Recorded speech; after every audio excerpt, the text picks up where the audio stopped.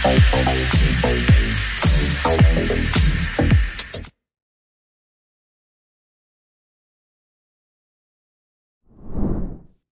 everyone. Uh, I am Tejaswi. Uh, I'm from Instacart. Uh, today, I'm going to be talking about how we scaled up our machine learning models and infrastructure to handle the surge in online grocery shopping.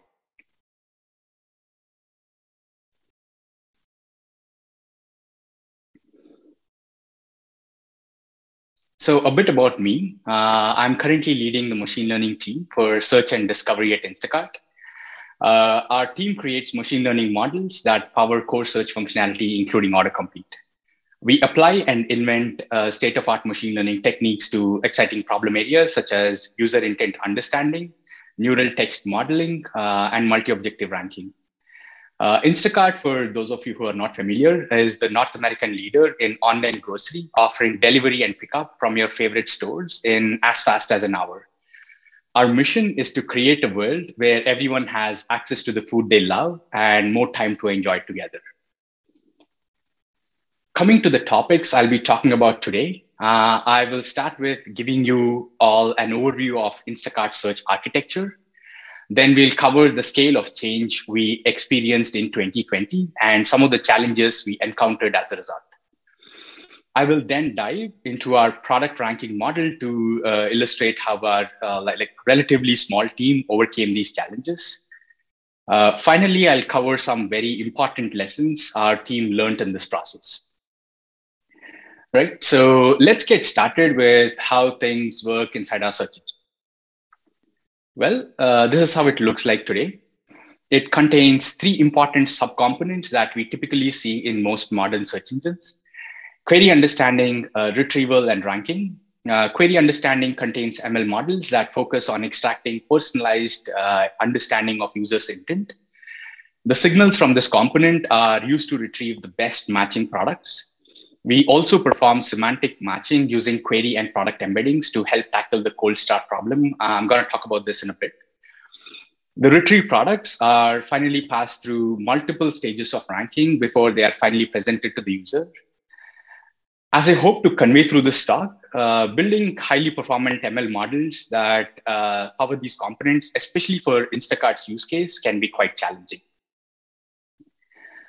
So given the focus of uh, today's talk, uh, I'd like to step back in time and talk about the state of our ML services in 2019. Uh, we started building our first ML models around August or September 2019. Uh, this is a figure that I'm sure we've all seen multiple times. It's a typical batch prediction service. Most ML models rely on, primarily on user engagement signals for training. Uh, we use Snowflake to store all search events like queries, impressions, and clicks. Product metadata that is used for additional features is also stored inside Snowflake. Uh, model training and scoring was done on Amazon ECS instances. Uh, the predictions are then written into Snowflake and ETLed into a Postgres database. We have a Python-based servers that acted as a thin wrapper to access all of the model predictions and serve them to the user.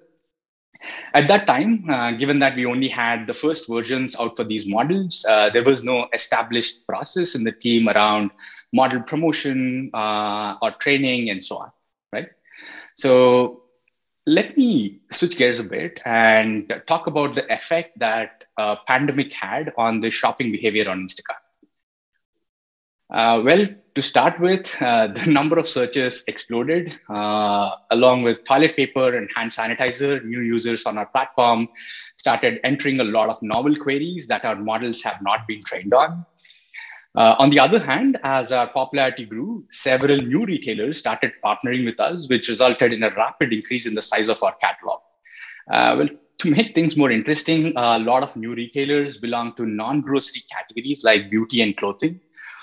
They expected highly uh, relevant search results, uh, similar to what we see on popular e-commerce sites. Um, also, our product metadata, like our product taxonomy, for example, uh, evolved rapidly with our business needs. So all of these factors uh, directly affected our ML models that heavily relied on this data. So what kind of challenges did this pose, right? So on one side, we saw a degradation in accuracy across all our models. Uh, cold start problem became more intense. We had to deal with new queries, products, categories, users all at once. Uh, our models could not quickly adapt to the change in distribution of search queries and product metadata. Uh, we also encountered encountered a lot of operational challenges that uh, we, did, we honestly did not expect to see so early in our journey. Uh, like more searches and more products meant our training and scoring jobs took much longer and often failed. Uh, search ML services and the underlying databases, they had to be scaled by like a fledgling team of like three members. Uh, and we weren't exactly experts in ML ops. Uh, all of this made uh, also made like running new experiments much harder. Uh, to illustrate my point better, uh, I'd like to take the use case of how all of this impacted one of the cr most critical models in search, which is our search ranker, right? so the search ranker decides the final order of products uh, that are presented to the user. Uh, the objective that we optimize for is conversion rate. Uh, essentially, given a search query, we want to help users find products that they are most likely to add to their cart. Well, this problem is challenging because uh, the length of the search queries are often very short. So you don't have a lot of information in there. Second, uh, users enter queries that have varying level of specificities. Uh, for example, uh, they put in broad queries like lunch uh, to very specific queries, for example, like, like extra large brown eggs. Right?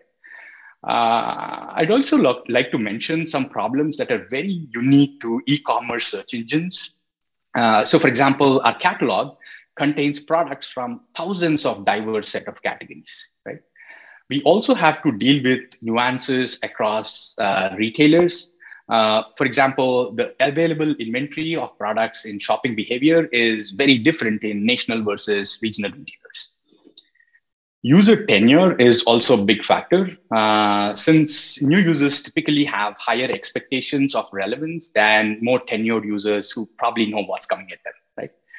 Uh, another factor is that users tend to buy the same items again uh, while we want our users to also discover new products in Instacart. So let's take a look at search ranking uh, in 2019. Uh, back then, our ranker model primarily depended, primarily depended on a linear combination of three signals, right? So one was the degree of text match between the query and the product name. Uh, second would be the query and product click rate. Uh, the signal ensured that popular products are shown at the top to the user. Uh, we also use the predictions of a query tagger model, uh, which ensured that the results that we show to the user are always relevant and match the user's intent. We used a very simple ranking function using uh, hand-tuned feature weights, uh, and all of this was implemented inside Elasticsearch right? So query product click rate uh, is one of the most important signals for the ranker. Uh, but unfortunately, we had to limit the amount of data we could store inside Elasticsearch uh, due to indexing constraints. Uh, this has this is not a shortcoming of Elasticsearch itself. Uh, it's probably uh, just an outcome of how we used Elasticsearch internally, right? So, yeah, uh, improvements to the quality of the click data definitely drove more conversions. Uh, but soon we hit a wall uh, due to the limited amount of data that we could, limited amount of feature data that we could index. Uh, well, we also knew that we could do much better with nonlinear features and a more complex model. So in early 2020, uh, we trained an XGBoost model and created a scoring pipeline to batch predict ranker scores for millions of query product tuples uh, to get their ranker scores. Unfortunately, though, before we could productionize the setup, uh, pandemic and the surge in traffic hit us, and we had to pause all modeling efforts for around three months uh, to, to put out other fires in the company.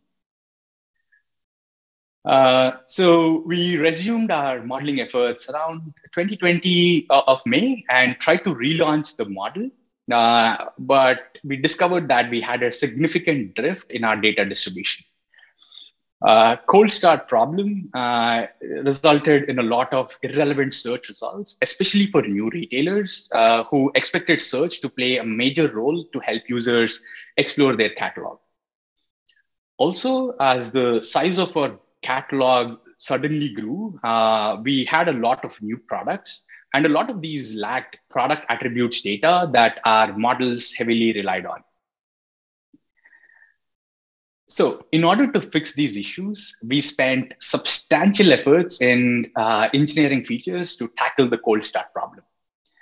We achieved this by creating features that model text similarity better so that we can show relevant results even if we had limited historical data for queries and products. Uh, unsurprisingly, though, this did not completely fix the problem. Uh, like even though we saw good gains in showing highly relevant search results, uh, we realized that features based on click data were still very important for driving conversions. So to tackle this problem, we increased the frequency of update to click data features uh, in order to learn user behavior faster. We also spent efforts in feature engineering to accommodate new retailers uh, and invested in statistical techniques to reduce noise in our click data. So this turned out to be great. Uh, we drove visible improvements to search relevance. Uh, we also drove incremental conversions and basket size, which means more revenue. Uh, and most importantly for us, uh, we were able to show relevant search results from day one for new retailers. Right. So, encouraged by this success uh, and inspired by companies who successfully forayed into deep learning, uh, we launched a deep learning model uh, which improved business metrics for us. Uh, unfortunately, I don't have the time to cover the specifics or the details of the model, but we implemented a deep and wide neural network that was able to model uh, text features much better and further reduce the cold start problem. Uh, the new model drove massive improvements to all this critical business metrics uh, like revenue, retention, new user activations, and so on. So we were all very happy. Uh, unfortunately, uh, after a few months after the initial launch, we discovered that the ranking quality for certain buckets of queries slowly degraded over time. Uh, we quickly realized uh, two blind spots. We did not have monitoring to observe that our ranker score distribution was shifting over time. Our model promotion logic was not very robust. Also, due to the increase in the scale of our data and the complexity of our features, uh, we also realized that our batch prediction system took more effort to maintain than we originally estimated.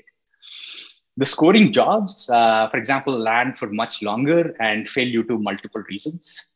Since we were relying on a batch prediction system, the size of the DB uh, database where we stored all of the predictions restricted the number of experiment variants we could run at the same time. Uh, also, all of this was maintained by only a single team member, though therefore we could not prioritize like monitoring of the scoring jobs or the model scores and so on. Uh, to add to all of these problems, we discovered many discrepancies in our uh, tracking data, and uh, therefore we had to add multiple rules to our training data generation logic uh, to work around this. Uh, all of this significantly increased the complexity of our code. So I'll now talk about the steps uh, we tackled, uh, we took to tackle these problems. Right. So uh, first, we started developing basic alerting and monitoring solutions uh, based on Datadog and writing custom SQL queries uh, in an analytics platform called Periscope Data. Then we worked very closely with a newly formed uh, machine learning infrastructure team in the company, and we became early adopters of the ML platform inside the company, which gave us great access to tools like Feature Store, uh, ability to create robust training pipelines, uh, scalable serving, uh, better monitoring, and so on. Uh, all of this enabled us to quickly move away from a world of batch predictions to real-time predictions. So, what are some of the successful outcomes of this work, right? Uh, given the simplicity and effectiveness of our monitoring solutions, it was very quickly adopted across our team. This in turn reduced time to uncover systematic issues, uh, such as regressions to our top line metrics. We also started actively evaluating uh, third party mod- model monitoring solutions. Uh, especially the uh, adoption of our internal ML platform uh, it helped us identify owners faster during critical incidents. Uh, it also greatly increased developer velocity, right? So, for example, extending ML services to add new models became much easier. Uh, we could also proactively measure our model complexity versus inference time. Uh, and this helped us to launch only the right sized models into production. Uh, I'll now talk about some of the important search models uh, that we work on in our team. First, uh, the query understanding service. Uh, this houses multiple uh, important ML models like uh, spelling correction, query classification, expansion, query tagging, and so on. All of this really helps us understand the user's intent much better the semantic embeddings model uh, is also something that we are very proud of. Uh, it helps us understand latent relationships between queries, products, and users. And this helps us tackle ambiguous and very broad queries. Uh, we'll talk about, we'll talk more about the model architecture and training methods in an upcoming paper. Well, in the realm of ranking, we are also working on using long-term user preferences as well as real-time signals to deliver a very dynamic search experience to the user. Uh, autocomplete. Uh, autocomplete was a revelation to us, uh, just in terms of how effective it could be. You uh, how how it could be used very effectively uh, to show uh, to shape user search behavior. Right. we're working on multi-objective ranking models to show very personalized query suggestion to our users, as well as maximize the number of purchases on search. Uh, all of this is especially challenging to, challenging to do uh, in a very low latency setting. Uh, apart from all of the models that I described, we also work on models that enable us to search across multiple stores, uh, recipes, and so on. Uh, finally, I will talk about some important lessons uh, our team has learned through all of this over the last two years. First, uh, invest in human evaluation data. Uh, like this data helped us understand the degradation in our relevance. Uh, especially, it uh, showed us things that were not very obvious from user engagement data. Uh, we also collect this data and track relevance of our results over time. Uh, there are many ways to go about uh, doing this. Uh, we started using graded relevance judgments uh, based on some internally created guidelines. Uh, ESCI is also another very popular framework for this task. Uh, second would be around tackling cold start. Uh, doing well on rare queries, uh, queries that, that typically are not very popular, uh, goes a long way in winning the user's trust. Uh, we also learned that it promotes discovery of new products, which is great for delighting our new users. Uh, tackling cold start helped us improve many long-term business metrics. I'm now going to talk about a few points that many early stage machine learnings tend to ignore. Uh, the first is obviously the, the importance of model and system monitoring. Having visibility into all important dimensions coupled with good alerting can save us all a lot of headache. Also, it's important to invest in good coding practices uh, unit testing, integration testing, validation tests when starting up your service, all of this can greatly improve your productivity. Also, don't underestimate the power of creating a good PR process. Maintaining separate local staging production environments and keeping them all in sync is very important. Uh, especially keeping the development environment production grade uh, with same code as master, same data as production, uh, and using this platform to run integration tests, load tests, and unit tests uh, can also be very useful. Uh, another thing that we personally found very useful was building a load testing tool uh, for all of our ML services. Uh, this really helped us productionize our ML models much faster without causing embarrassing uh, production instances. Finally, creating a runbook uh, covering all common issues and important links for all your services. Uh, it goes a long way, especially in onboarding new developers onto your service, uh, helping people push codes, set best practices, and so on. Um, it would be great if the template is especially common across all of the teams in the company. Uh, now I'm ready to take any questions. Excellent talk about a really important subject these days. Um, so, does anyone have any questions? Well, I'll start with a question of my own then. So, what monitoring tools did you try, or what tools did your team evaluate? Uh, yeah, that's a great question, actually. So, the first one we are looking into is Arize. Mm-hmm. Um, mm-hmm. uh, so, we started with this because our sister team uh, started looking into it, and we thought it was a neat solution to have like a central centralized dashboards that can track all of all things uh, ML model related uh, for to our team in a single place.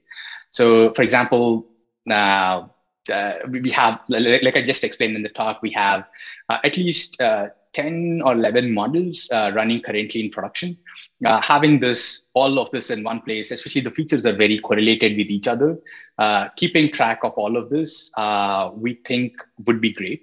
also, I'd also like to emphasize one point that simple monitoring went a long way. Uh, in fact, the, the solution that I talked about using Datadog uh, and Periscope data, uh, especially, was also like very, very effective. Oh, awesome. Um, so next question I have is, uh, can you talk about model and pipeline artifacts for debugging rollbacks and how do you version? So yeah, so that is question. something yeah, that, that, that's something that our um, machine learning infrastructure team is helping us on. Uh, I, I, can I can go into many many details, but we are primarily relying on MLflow to help us with all of this actually. So we are building. Uh, so the team is helping us build abstractions over all of our training pipelines and so on over MLflow, so that developers can just focus on creating models and model promotion processes, uh, and less on worrying about the details itself about MLflow, I think so. Awesome. So a lot of questions now. Uh, so can you give an example from your use cases when you say multi-objective ranking? Sure. Uh, I'll probably talk about autocomplete. Uh, so mm-hmm. when it comes to autocomplete and search, there can be multiple objectives that you want to uh, serve to the user. So for example, relevance of the search results, that relevance of the suggestions that, that you show to the user, uh, personalization of these suggestions, showing suggestions that are likely more to lead to higher revenue. So, for example, like let's say more ads revenue and so on, right? So, all these are objectives that are potentially conflicting with each other. So, having a single model that can capture all of these objectives uh, is very critical uh, and something that a lot of companies invest heavily on. Uh, to be to be fair, we haven't done anything fancy yet. We just have several different models for each of these objectives and use a simple linear combination of these, but we are hoping to graduate into more complex models very soon. Awesome. So speaking of models, another question. So how long does it take on average to train or retrain the model or models in your case? yeah, the, the, the, uh, honestly varies by the model. Uh, I would say an average number is eight to 12 hours. Okay, wow. Okay. Um, and so some other questions um, people asked were, what about the visual features of the product images? Does it affect search rankings?